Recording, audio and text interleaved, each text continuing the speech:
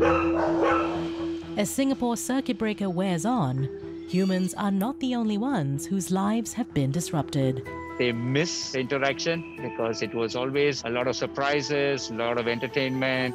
Adoption drives would have to be stopped. The dogs would be stuck here. Because the whole medical supply chain is affected, they may not be able to get the drugs they need.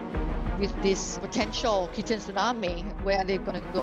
How will Singapore's army of animal workers ensure that creatures stay well during this pandemic?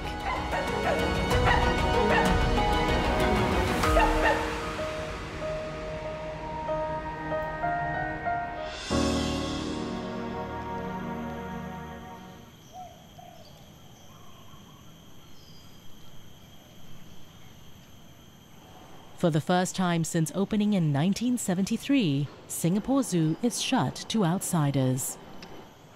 Since 7th April, it's been closed to the thousands of people who visit every day. But inside the zoo and its sister parks, 120 workers continue to feed and care for over 15,000 animals who eat through six tons of food a day. One of the zoo's star attractions are their five Asian elephants. The all-female herd is led by matriarch Komali. But today, all attention is on Aprilla, one of the two critically endangered Sumatran elephants at the zoo.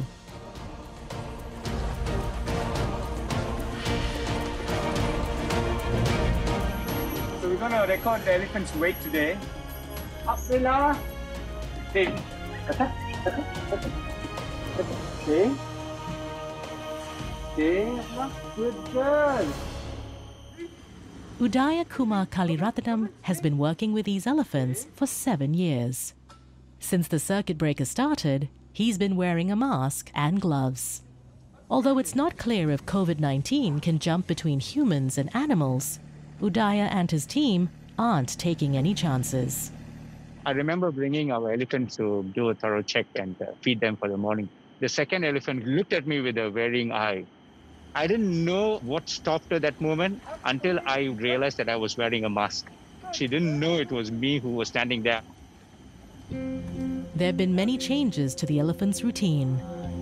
One of the biggest upheavals is the disappearance of their visitors. The elephants have the busiest schedule, I would say, in the zoo. The morning is the first activity. We start around 9.15 a.m. and that is a bath session, followed by two presentations and two token feedings before the CB kicked in. So when we don't do that, you can see they are expecting things to happen. These girls have a good memory. They clearly understand that there's a change. Near the zoo is another animal institution that's also suffering from the impact of COVID 19. The Society for the Prevention of Cruelty to Animals is Singapore's largest animal welfare charity. They receive over 200 unwanted animals every month, and their work continues even during the circuit breaker.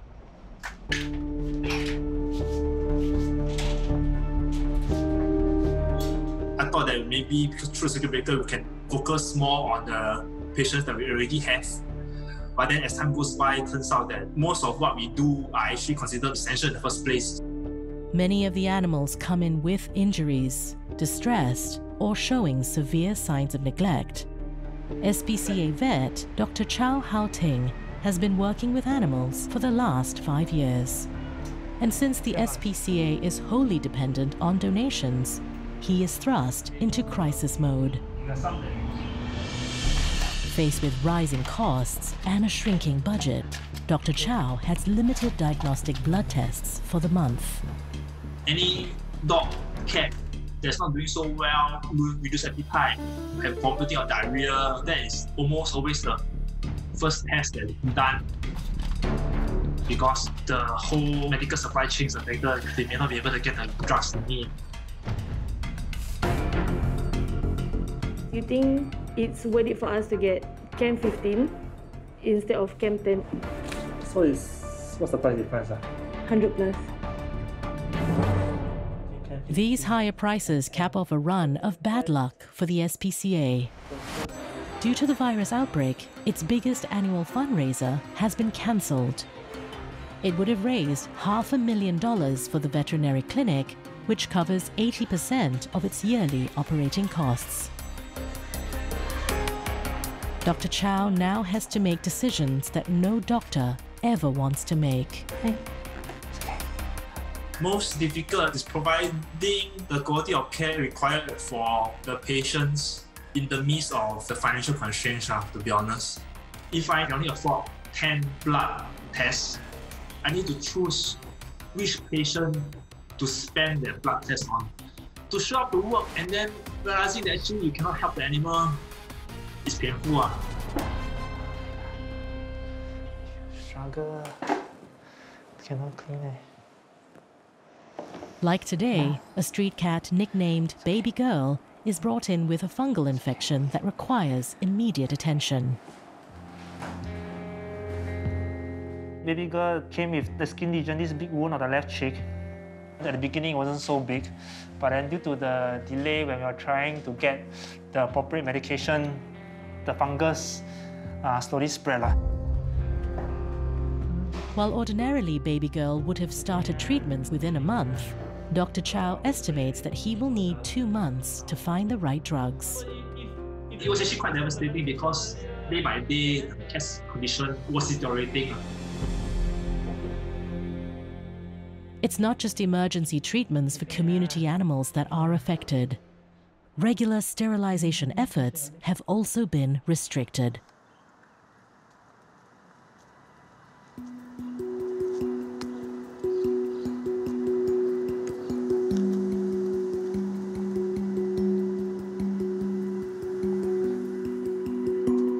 Independent cat rescuer Nur Samad has been helping to manage the stray cat population by taking unsterilized street cats to be neutered at the vet. Since yesterday, it, it couldn't move and it's not even eating, so oh, I think it's quite serious. But during the circuit breaker, only authorized contractors, such as the SPCA, can bring in street animals for sterilization. Since the circuit breaker started, I haven't been able to do much rescuing because trap neuter return programs have been disallowed except for animal welfare groups. They can sterilize and do trapping, but it's a case by case basis. But for myself, I cannot do this anymore. I have a cat right now. Uh, she is on heat. She is screaming away. We have received many phone call inquiries saying the cat on heat and then they have male, female cats in the same house, cannot separate it. You still have to find a way. Over 320 cats are treated under Singapore's stray cat sterilization program every month. But with the program suspended during the circuit breaker, over 600 street cats will remain unneutered. There are an estimated 60,000 street cats in Singapore. Noor fears that a cat population surge is imminent. A cat's gestation is two months. On average, a mother cat can have four kittens. So if you're gonna have all these females getting pregnant within the two month break, if you were to do the math, it would just be it's, it's, it would be scary. Already there are not enough homes. So now with this potential kitten tsunami, where are they gonna go?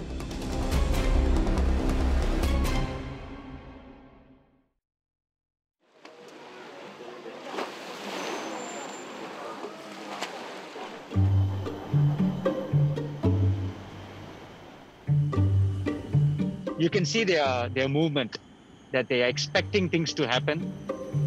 The elephants in the zoo haven't interacted with visitors for the last four weeks. The lack of guests will make them sluggish. One basket you can share with your family members. We bring a big fruit for the visitors to feed the elephant. So they look forward for those. They spend a lot of time work for their food. Guys, sorry guys, sold out. The next one is at 1.30 p.m. Same place, we sell 20 more baskets, okay?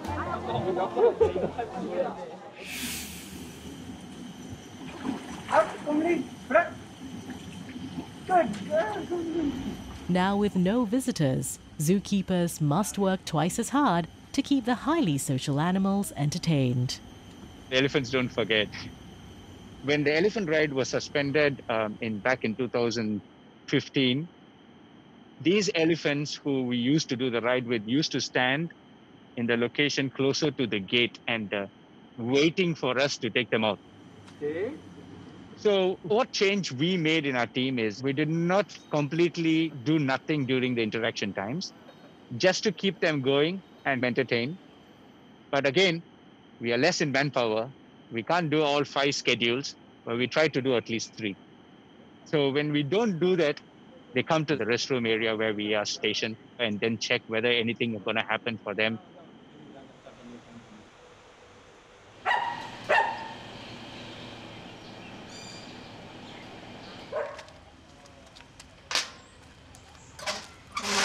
Christine Tan is part of a team running Causes for Animals Singapore, an animal adoption center for homeless dogs and cats.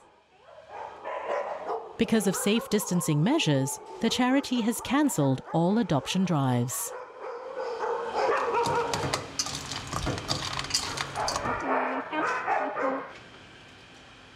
We only take in new dogs or cats if the current ones go out to good homes.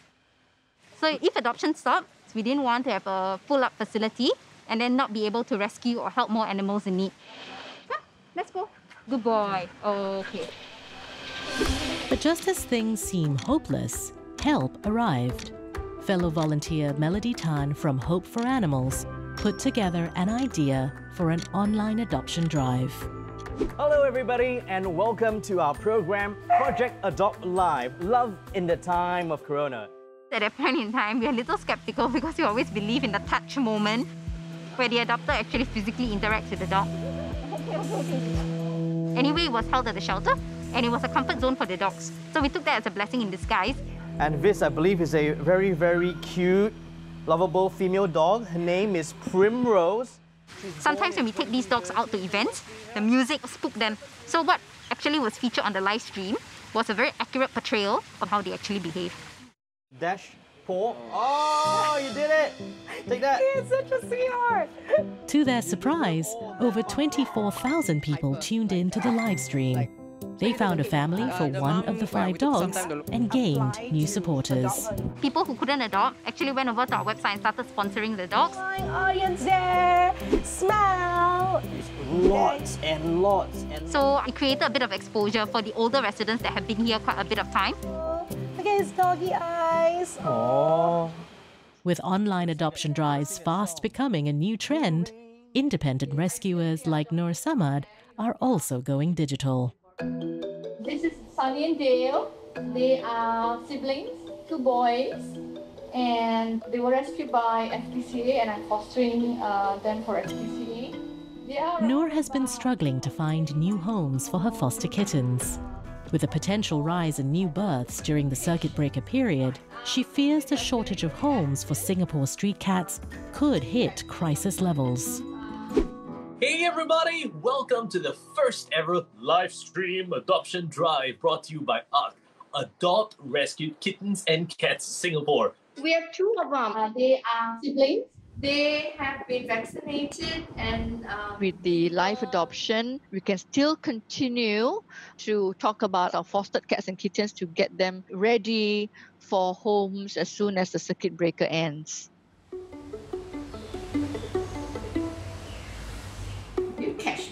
Clever, clever children. Oh, just got good news that there were at least two people who seem to be very interested. And I hope that uh, I can proceed with them and answer the, the questions about Sunny and Dale.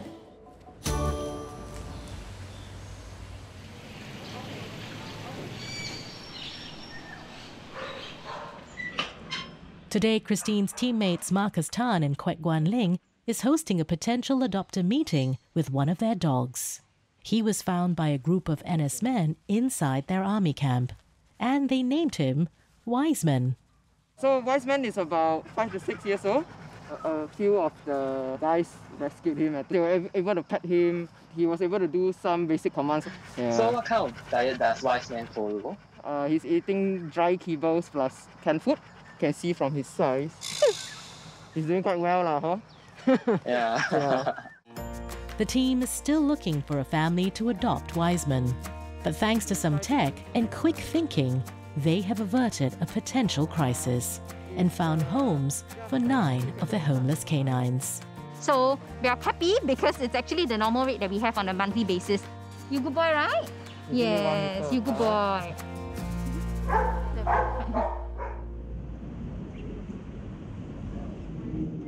Over at the SPCA, their situation is worlds apart. Due to a lack of manpower, they've stopped all adoption drives. But with rescues still happening and their shelter filling up, SPCA Executive Director Jaipal Singh Gill has no alternative but to turn to fosterers to give animals a temporary home. It gets a lot more important that these animals are uh, in foster homes so that we do have space uh, at the shelter for animals coming in in fairly bad shape. Those animals will not be uh, suitable to be placed in a foster home, so we must reserve the space at the SPCA. We're obviously trying to minimize human uh, contact with new fosterers as well. Some of them may not be as experienced as senior fosterers. Uh, so there's a lot of communication in terms of providing them the support that they require uh, to carry out a successful fostering. Over 120 animals will now spend the circuit breaker period in loving new foster homes. But it's a short term solution. With the end of the circuit breaker now coming in phases, the challenge animal shelters still face could escalate and pull down everything they've worked so hard to achieve for these animals.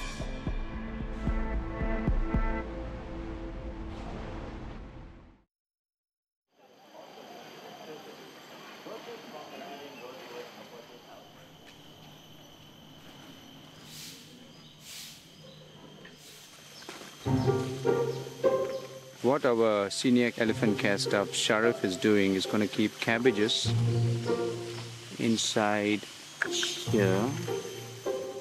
And we got a lot of fruits.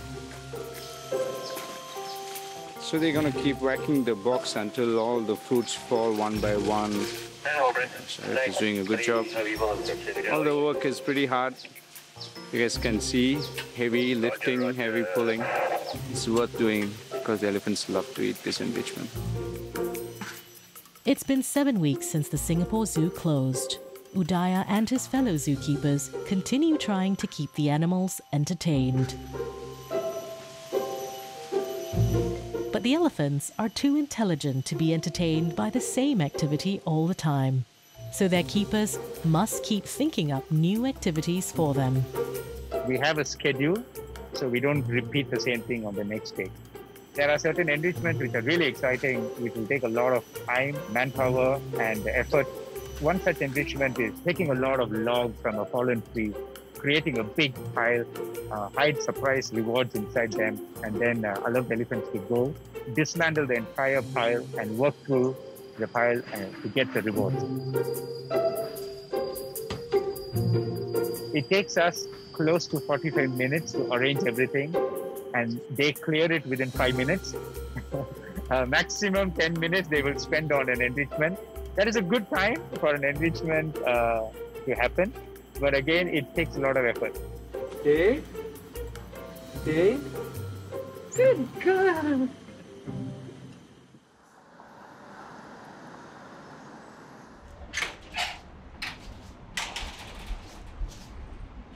Over at the SPCA, the price of medical supplies continue to concern Dr. Chow. He is turning to his wife and fellow vet, Dr. Vivian Chan, for support. The blood test that I found for Cryptococcus cat, uh, 2013 at the time is $40, right? But right now, right, it's $100 per blood test. So like probably we may not be able to test as regularly as they recommend. For him, the only thing is that fever yet. Maybe you want to do one test first. Yeah. Meanwhile, Dr. Chow has finally found affordable medication to treat baby girl's fungal infection, but it comes a month late.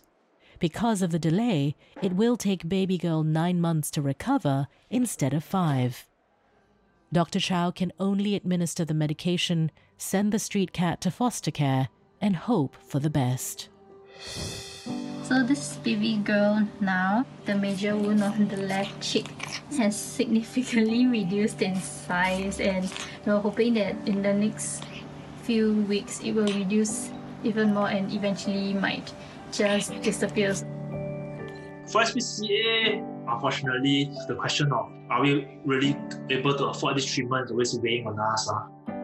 As much as we try to save as many animals as possible, we try to focus one patient at a time. We are now ready to exit the circuit breaker. Many restrictions that are in place will continue. I know Singaporeans have been hoping that they will be able to socialize with their friends, to meet their families. Unfortunately, all of these activities will have to wait. Circuit breaker might be lifted on 1st June, but many of the restrictions still remain and will remain for at least another four weeks. Life for humans and animals alike will remain uncertain, at least for a while. Currently, our yearly expenditure is about 3 million a year. We are trying to recoup some of the money that we are, we are losing from events through uh, online uh, fundraising. We expect, at least for this year, 2020, that we would lose about uh, at least 500,000. Back at Singapore Zoo, the animals and zookeepers don't know when they can start welcoming visitors again. Like zoos around the world, the Singapore Zoo is also thrust into an unprecedented crisis especially since they rely largely on visitorship for revenue. For our parks, obviously, we're facing a lot of financial difficulty as well, but um, over many years of very carefully operating our organizations, we are nowhere near that bad. From the very beginning, even as early as um, end of January, we have already suspended all unnecessary spending and major cost cutting and rechanneling, refocusing all our budget in necessity stuff like caring for the animals. That is Jati, our 36 year old girl. And she goes down on the command from the trainer, Sharif. And Sharif is going to ask her to lie down the other side. And uh, once she does that, she's going to get a big reward. What she gets today huge, big piece of cabbage. Yeah, good girl. Well done. They love dirt, they love sand, they love rain. They're beautiful as always. I love animals.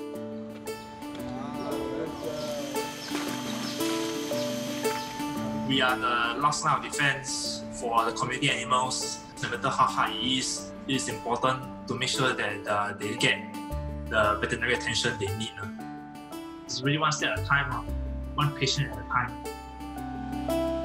I think through this circuit breaker incident, we realized that when you feel like there's no way out, then we sort of try to do things a bit differently. Because at the end of the day, if you really want to make something happen, you can